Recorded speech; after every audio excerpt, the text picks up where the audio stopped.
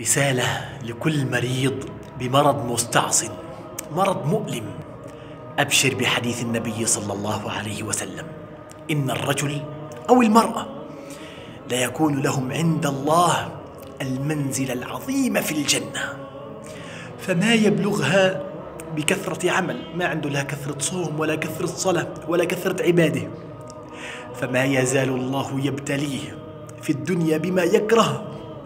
حتى يبلغه تلك المنزلة.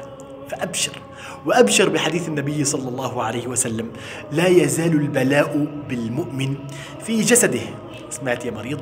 في جسده ونفسه وماله حتى يسير على الأرض وليس عليه خطيئة.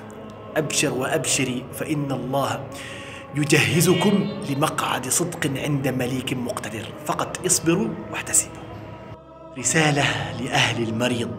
هنيئا لكم الأجر العظيم من الله سبحانه وتعالى على صبركم واحتسابكم ورعايتكم للمريض.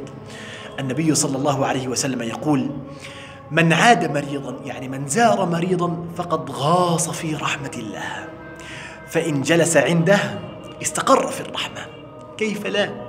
وحديث النبي صلى الله عليه وسلم من زار مريضا في الصباح استغفر له سبعين ألف ملك حتى يمسي ومن زار مريضا في المساء استغفر له سبعين ألف ملك حتى يصبح. فما بالكم وأنتم فايتين طالعين على المريض؟ كل شوي بتدخل لعنده بتدعوا له وبتصبروه. تخيلوا الأجر العظيم من الله سبحانه وتعالى برعايتكم لهذا المريض.